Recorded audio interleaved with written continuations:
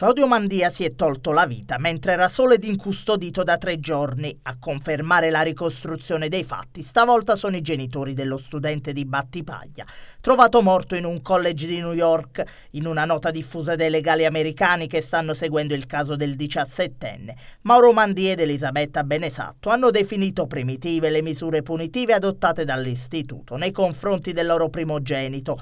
Claudio, accusato di aver copiato un importante compito d'esame, sarebbe finito in isolamento per tre giorni e temendo l'espulsione dal college si sarebbe tolto la vita.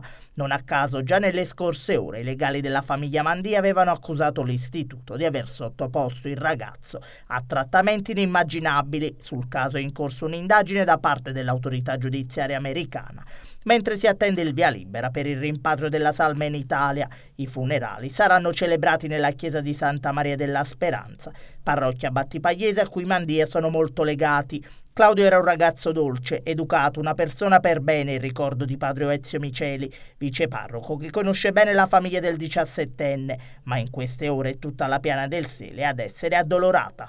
È una tragedia immane, io non provo neppure ad immaginare cosa possa significare perdere un figlio di 18 anni, per me è inimmaginabile, ecco. è innaturale. Ovviamente rispetto ad una morte così eh, di un ragazzo così giovane è sempre una tragedia. Poi diventa una tragedia ancora più grande se questa morte sia stata provocata da qualcuno.